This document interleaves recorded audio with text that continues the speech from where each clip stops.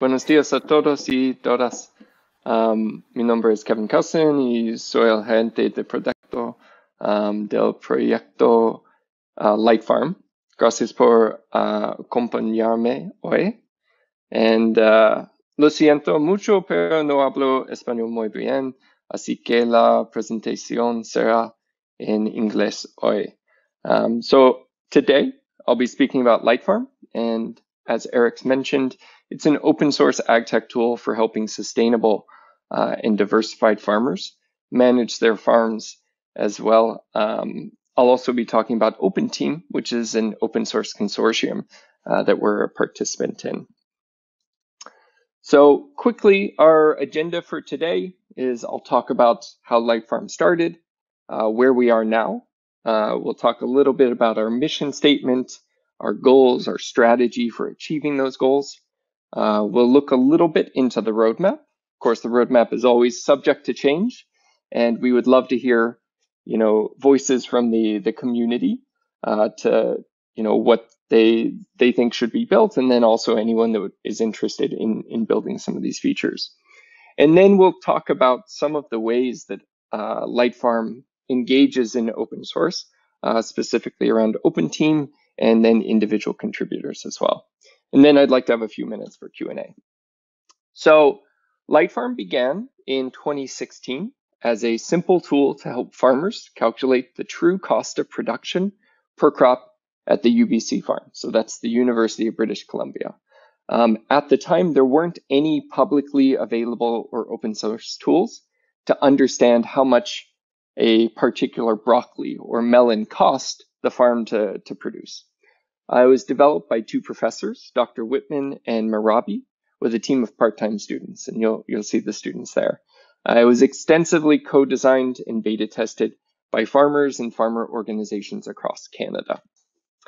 Uh, today, we have a simple farm management app able to log farm operations, uh, capture cost per crop, provide high level financials, and provide basic sustainability insights.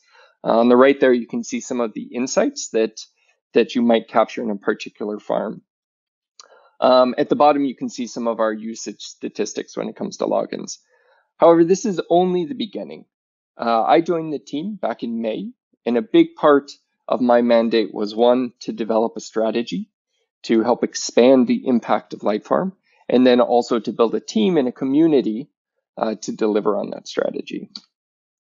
So in the last six months, uh, we've built a mostly full-time Scrum team. So we've got three full-time student engineers from the, the UBC, uh, one senior engineer, um, myself, we have a subject matter expert, so a, a farmer that is helping us build the app on a regular basis, a research associate, and we're also hiring for two positions right now. Uh, a QA engineer, this person would also do some support activities for, for users. And then we're also hiring a, a UX designer as well. And for reasons that will become very clear in just a minute, we very much welcome remote and foreign candidates, especially in Central and Latin America, um, to apply for these positions. So our mission is to meet farmers where they are and equip them with the tools they need to make informed and responsible decisions about the health of their farm, their livelihood, the community, and the planet. And our goal is to put LiteFarm in the hands of 10,000 farmers uh, by 2023. So how do we plan to achieve this mission to get to this scale? Um, our strategy is three-pronged.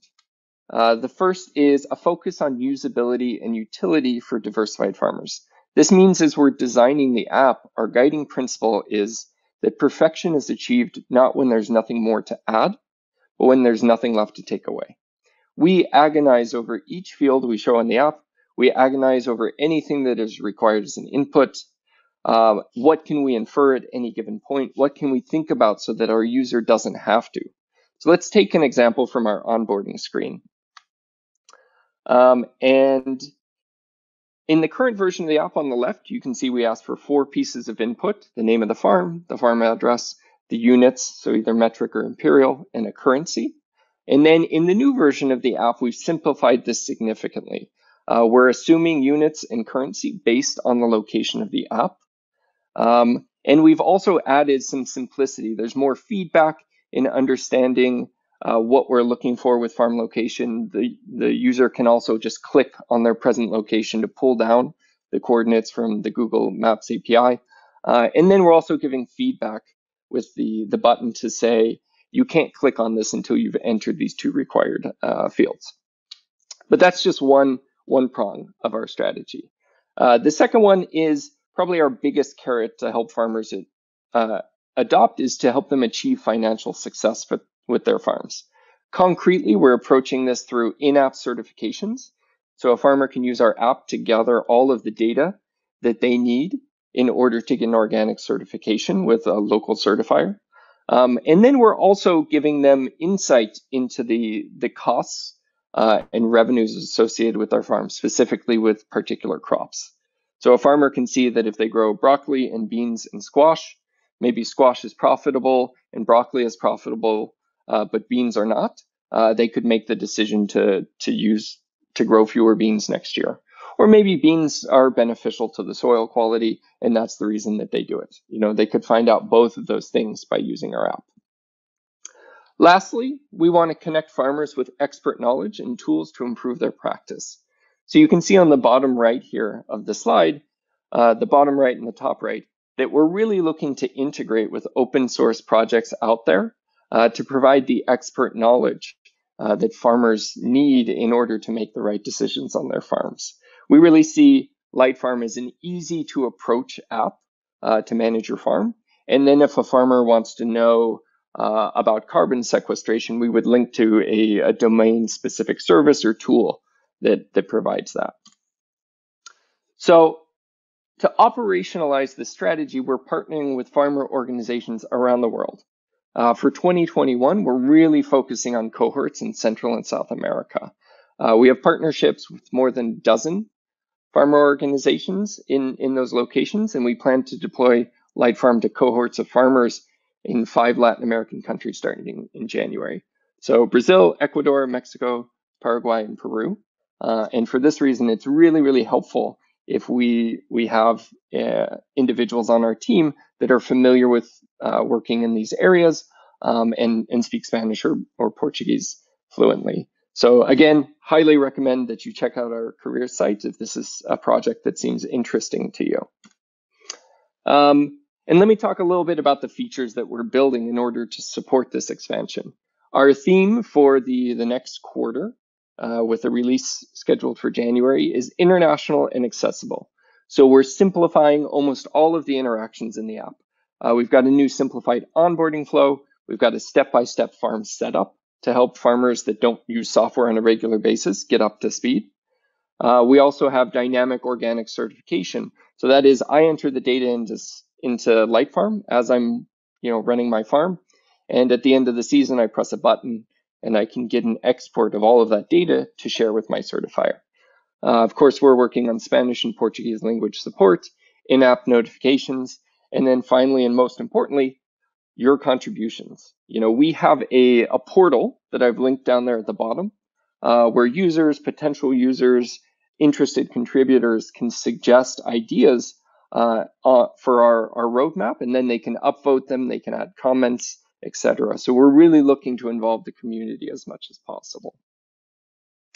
Longer term candidates, uh, you can also see on, on our portal, but task-based farm management, advanced labor, financial and inventory tracking to help uh, farmers really manage their, their farms effectively, livestock, crop scenario planning.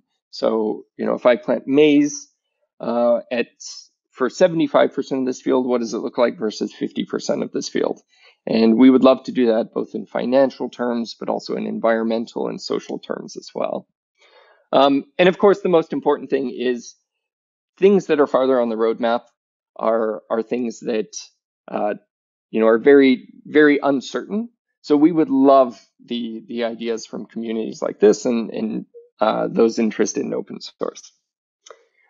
So the way that we're currently engaging with open source uh, communities and consortia um, is to help build common infrastructure. So especially when it comes to ag tech, uh, there's a lot of shared data that, that should be usable across kind of the, the whole ecosystem. you know, ontologies around what does a, a crop mean? What does a field mean? What does a, a task that you perform on your farm mean?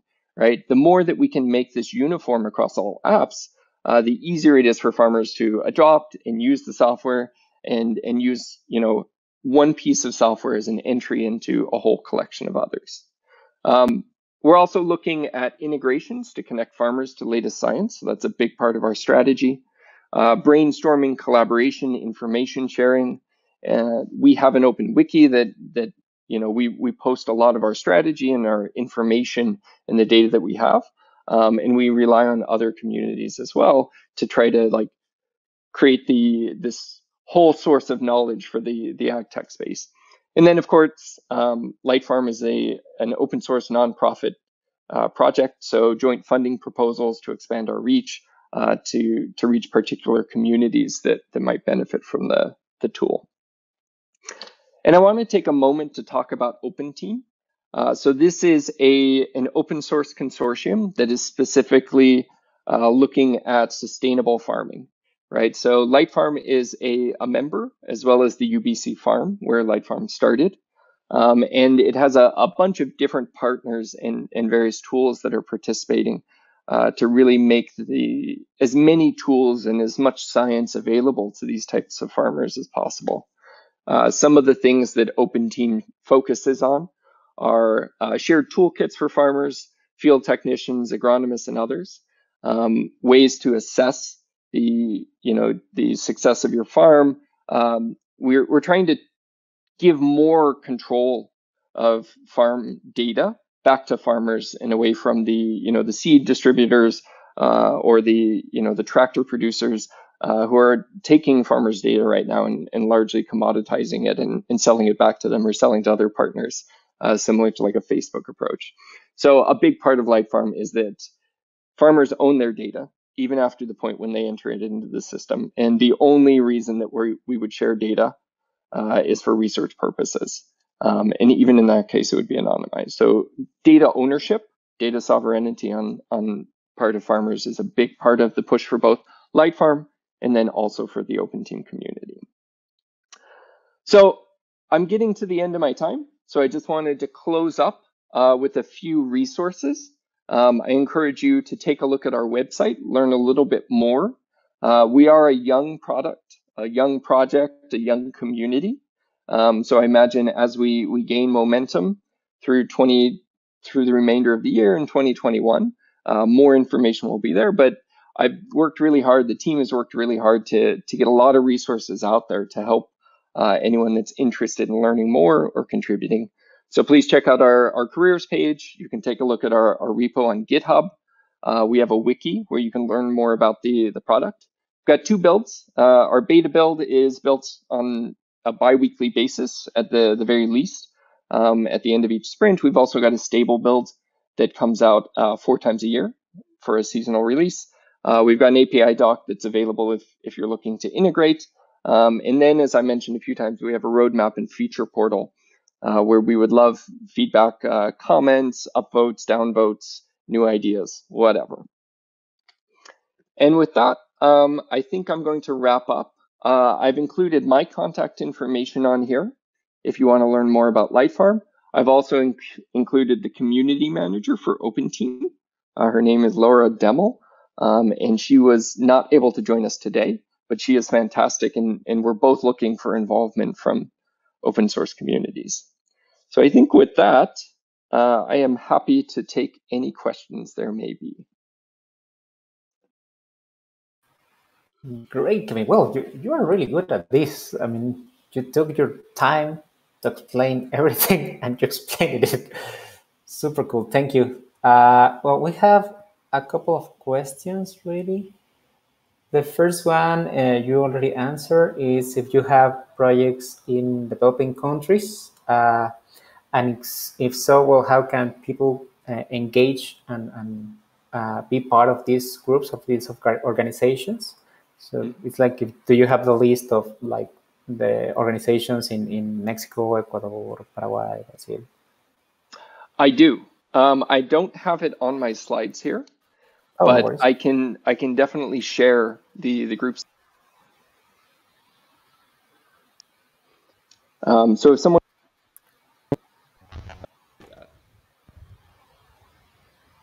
sorry, I just need to switch. No can worries. Okay. I, I, can hear you. Yeah.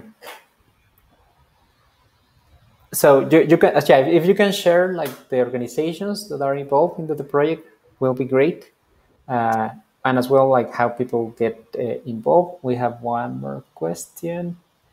Uh, oh, this is an important one. Uh, do you provide data related to uh, weather forecasting, like meteorological forecasting for farmers to use? We do not provide it. Uh, we have an integration with Open Weather, and then that goes into some of the algorithms that, that are being used in the app. For example, we do uh, some calculations around evaporation, uh, like water balance in the soil based on the temperature and the wind speed and such. Um, we are looking for next year into integrations with uh, some hardware integrations for weather stations, in which case we may actually be capturing the data directly from the hardware. Uh, but right now we're just using open open weather as our source for weather data. Awesome. So it's it's integrating with Open Weather for now, but in the future it will be with IoT devices that directly capture the, the weather. It's super cool. Yeah. Yeah. Yeah. yeah. I mean, we would love to get there. Um, so we have a proposal right now for for that uh, type of work and it all comes through to, to whether or not it gets funded. Awesome. But that's awesome. definitely something we're interested in, in working on in the future. Awesome. Okay. Uh, one more question. Uh, which are the criteria for farmers in Latin American countries to, to join uh, LiteFarm, like to be part of like the user base of LiteFarm? Oh, yeah, great question. So there is none if you're a farmer and you would find LiteFarm useful, you can go to litefarm.org. You can sign up. There's no cost. You can uh, build your farm in the app. There's no issues with with doing that. Uh, you don't have to contact us or any of our partners. You can just do it today. Uh, the way that we are expanding in these countries is that we're working with local farmer organizations uh, who will actually we're training them they're training the, the individual farmers so that they can use the app to, to manage their operations. So right now we're not focusing our outreach on individual farmers. We're focusing on going through farmer organizations so that those farmers have more support in using the app. But there are no restrictions. If you have a farm today, you can log on and start using it and, and reach out if you have any issues. Great.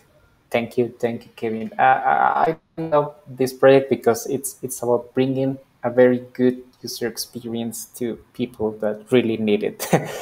so it, it, it's, it's super awesome. Uh, I don't see any more questions on the screen. Uh, oh, a good one. Ah, this is hard one, Kevin. So are the Latin American partners also supporting the local organic certifications. Uh, I remember that LiteFarm had a lot of like uh, connection with the local or organic uh, uh association near British Columbia, right? How about other like more localized organizations like in Mexico or in Brazil? Yeah, absolutely. Great question. And the answer is yes. So with our January release, we'll support uh, organic certification through the partner in British Columbia. We'll also have a generic export of forms. And then we, we anticipate with our spring or summer release, we'll support many different local certifiers uh, in the countries where we're working in Central and, and Latin America. Great. I, I like that people keep track on, on like really these sort of topics. uh, I don't have any other question, Kevin. Uh, but oh no, I do have. Yeah. uh, one. Oh, this is interesting. Uh, but probably well, it, does it have to be a kind of a special a special crop or agricultural, or does it support livestock like pigs, like cattle? Hmm. Yeah, very good question. Uh, it does not right now that is something that is on our roadmap because uh, a lot of the organic and diversified farms they really they work on the interaction between crops and livestock right so you grow the crop you feed the livestock with the crop and then you use the manure from the the livestock to uh, fertilize the crop. We do not support that right now, but that is something that we would absolutely like to build, and we plan on building uh, probably for our summer 2021 release. And since this is an open source project, and if somebody wants to start working on this, it will be yeah. awesome that I can take a look and say, like, oh, for livestock, I will make this sort of thing. Yeah, I would love to work with anyone that, that knows about livestock um, and would, would like to help us kind of build this out, both design wise and then also in code. That would be fantastic. Uh, and one more question. Uh, and, and, well, which are the main features or benefits uh, of LiteFarm uh, to attract people to use it? I mean, how, how is LiteFarm attractive for farmers? Yeah, great question. So right now, LiteFarm is essentially a fancy notebook. Um, it allows farmers to document all of the things that they do. So they can say, I planted tomatoes in this field on this day. I uh, picked pests on this day. I irrigated on this day. I harvested on this day. I sold 100 kilos of tomatoes at this farmer's market on this day. And what they can do with that is they can create a timeline of from the day that it was planted all the way to the day that it was sold and then all of the expenses on the farm, all of the expenses that can be tied to a specific crop, all of the revenues from selling a specific crop, so that they get this really concrete understanding of the profitability of their farm, right? They can say, this is a profitable crop, this is not a profitable crop, or this is a crop that is changing the soil health in a bad way. So even if it is profitable, perhaps I don't want to do that. So it gives them a way to capture a lot of the operations of their farm. And then through our insights to understand how uh, their actions are changing both their financial position and the environmental position and the social uh, position of the farm within the community. Right. Thank you. I don't know so, if that answered the uh, the question of the uh, the questioner, but I, I hope that gives you a better idea. Yeah, I, I mean, uh, and and well, uh, people probably don't realize how much work that farmers need to do in order to like produce the food, and, and, a lot of that work is not logged anywhere. I mean, no, not every farmer has a, a, a, registry of what they are doing, like yeah. step by step, and they don't have all that information, but just on their heads yeah, on, exactly. on other people's heads. So LiteFarm really brings this all data, all these data into a place where like people can see it and, and then improve based on that. And it LiteFarm is built for farmers, but a secondary purpose of it is to help researchers understand exactly what you're talking about. You know, if there's a farmer that has been growing 50 crops on the side of a hill in very rural Peru, you know, they have a lot of knowledge about how to do that effectively. So a part of LiteFarm is to help get that knowledge out of farmers' heads so that scientists scientists can help both that farmer with better techniques, but then help uh, farmers learn from each other on successful techniques in their particular community. Yeah, that's super cool. uh, one more question. Again, so many questions, Kevin. Uh, very easy one. Do you support concurrent users for a single farm? Yes, absolutely. So um, we built out a multi-user to multi-farm ability uh, in our last release. And the, the main use case we have there is that if you own a farm and you have 10 farm workers, you can invite them to participate and use LiteFarm on your farm. Uh, we also support the use of extension officers. So that is like government or NGO workers. Uh, they can access your farm, kind of look at what you're doing and make suggestions uh, on how you can improve it. So yes, absolutely. Yeah, it, it was it was a creepy one. It was hard. it was hard to implement that feature. Uh good. I have one more question, and this is mine, Kevin, so that people know about this. I mean, how has been the relationship within the University of British Columbia uh, with you that you come from like the industry, like creating products, like building like software that people use like for commercial purposes and, and uh, working with students and, and now moving to, let's say, uh, more like community development that it's making this an open source? I mean, how, how is your experience with universities, industry, and community working together? So I I can say comes to working with the university, it's been a fantastic experience. Uh, they've provided a lot of support. The fact that we can include uh, students as our, our engineering staff both helps those engineers, you know, develop their professional skills and, and get experience working uh, with a real technology team and working on open source software.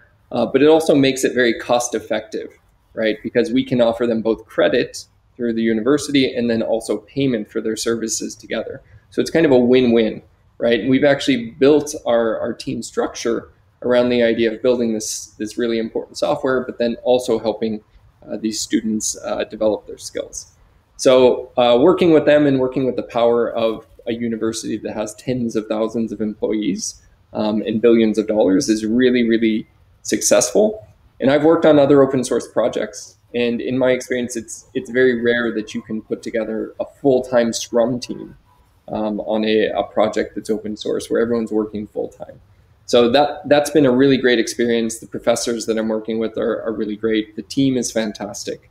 Um, so I would highly encourage anyone that's interested, you know, please reach out. Very very friendly folks, uh, very welcoming to to new individuals. Um, we have a lot of resources that we can put behind this. Uh, the second part about the community, we're a very young project. Uh, we only open source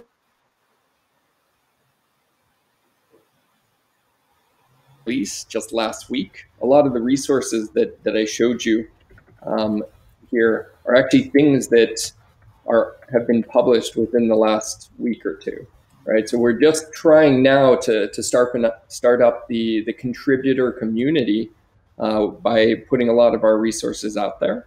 So if, if folks were to join, you, you would be in the, the first five to 10 individuals uh, to take a look at this. And we, we're really excited about growing that side of, of the LiteFarm, Light Farm project.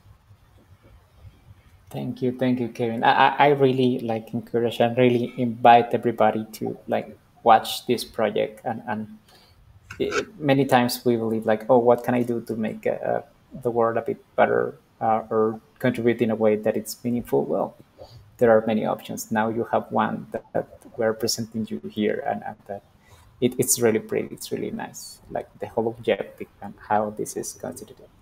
Awesome. Well, thank you so much, Kevin, for your time. Uh, I really appreciate that you joined us today and that you share LiteFarm. Uh, much, much appreciated. Thank you very much. Muchas, muchas gracias. Um, I will switch quickly to Spanish uh, to give some uh, information, some notification, uh, uh, so that people know how this event will go on. But Thank you. Thank you very much, Kevin. Much, much appreciated. All right. Well, thank you so much, Erickson. Thanks for everyone that was listening. Um, I look forward to, to speaking with you in the future and hopefully getting you involved with LiteFarm. Take care. Muchas gracias.